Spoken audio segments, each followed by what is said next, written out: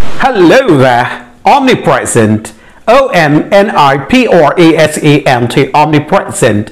What does omnipresent mean? Well, omnipresent means present everywhere. For instance, Almighty God is invisible yet omnipresent. Almighty God is invisible yet present everywhere. Moving on to the next word, omniscient. O M N I S C I E N T, omniscient. What does omniscient mean? Well, omniscient means one who knows everything. For instance, Almighty God is not only omnipresent but also omniscient. Almighty God is not only omnipresent, He eh, knows everything. Example number two, my mother is omniscient, which means my mother knows everything about me. Omnipresent, omniscient. If you like my video, please subscribe my channel. Thank you very much.